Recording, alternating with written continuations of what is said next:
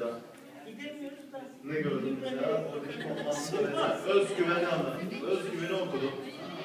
Ve, ve bir işi seve